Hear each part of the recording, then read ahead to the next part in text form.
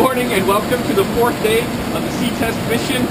The weather is horrendous. It's raining, pouring down, there's thunder and lightning, but the boat's ready and uh, we're ready to go out as soon as the weather clears for our final familiarization dive before the mission itself starts on Monday. So let's hope this passes quickly.